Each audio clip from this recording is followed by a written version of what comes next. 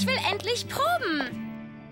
Ich fasse es nicht. Ein Liebeslied? Ja, Jacob hat das anscheinend drauf.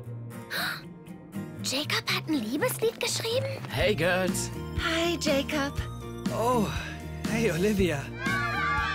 Unsere Fans. Hier lang, bevor sie uns sehen. Die haben Fans? Nicht nur Fans, kreischende Mädchenfans. Die wären garantiert eifersüchtig, wenn sie wüssten, dass der Frontmann der Dreamboys ein Liebeslied für Olivia geschrieben hat. hey, was reimt sich wohl auf deinen Namen?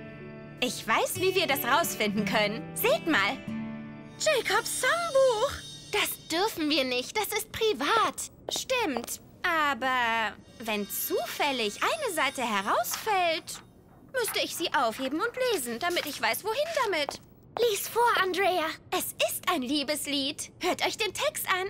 Mädels, das hübscheste Mädchen, das ich kenne. Sie ist so herzlich und witzig dazu. Der Abschied fiel uns so schwer, denn der schönste Sommer meines Lebens war mit dir. An deiner Seite zu sein bedeutet Glück pur. Du mein Ein und Alles, Susi. Susi? Hm, vielleicht ist ihm kein Wort eingefallen, das sich auf Olivia reimt. Hier steht noch mehr. Ich will es nicht hören. Ich habe mein Songbuch vergessen. Oh, danke, Andrea. Danke? Wie konntest du nur?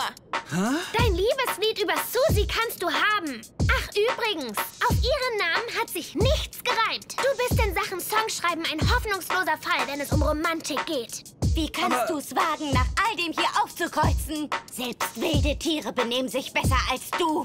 Ich bin empört. Ich. äh, Ich lösche sofort alles von dir, was auf Olivias Handy ist. Löschen, löschen, löschen. Und falls du ihr etwas sagen möchtest, musst du zuerst mich fragen. Hier dein neuer Klingelton. Was?